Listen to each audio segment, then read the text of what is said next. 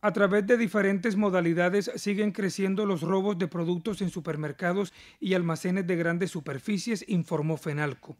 El Censo Nacional de Mermas, que mide la disminución del comercio organizado, reveló que las pérdidas del sector en el 2019 alcanzaron los 248 mil millones de pesos, 4.2% más en 2018, año en el que las pérdidas alcanzaron los 238 mil millones.